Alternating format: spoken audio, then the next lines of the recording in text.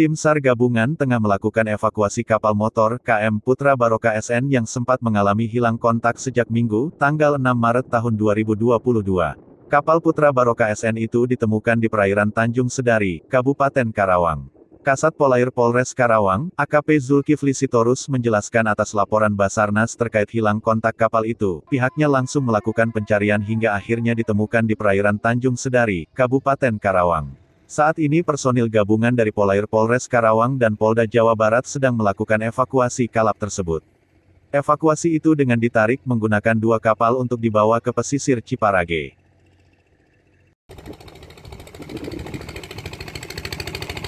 Si ya bersama tim dari eh, direktorat dari Polda, jadi sebanyak kita empat personil, kemudian dari Polda empat personil, kita melaksanakan evakuasi menggiring kapal itu untuk ke darat.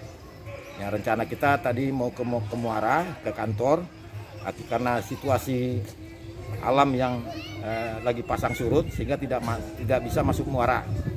Ya, terpaksa kita kita arahkan ke arah Belanakan. Hmm.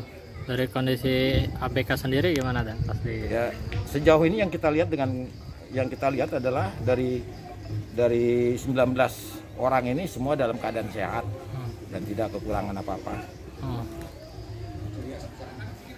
Komunikasi dengan nakodanya, jadi berikut nakoda ada 19. Oke. Hmm. Ya. Dan untuk uh, nanti kan sudah sudah ini sudah dengan perintah pimpinan kita lakukan pemeriksaan kesehatan. Ya, mungkin rencana uh, sekarang menunggu uh, mantri nanti kita adakan cek uh, kesehatan yang bersangkutan. Hmm. Itu kapal yang uh, hilang kontak tuh dia sedang mencari kan atau gimana dan mau informasinya baru mau belayar.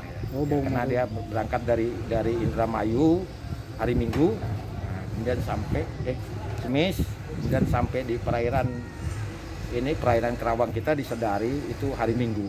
Hmm. nah, kemudian trouble mesin di situ